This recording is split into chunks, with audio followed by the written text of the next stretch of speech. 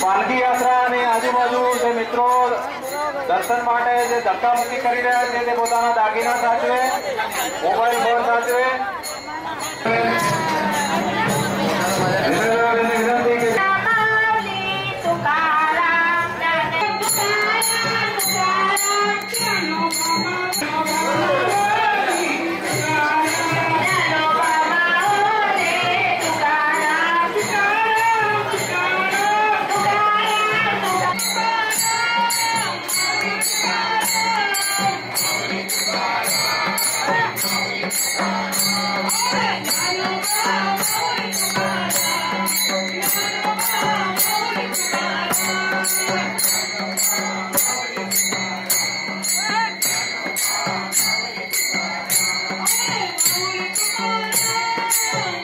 Thank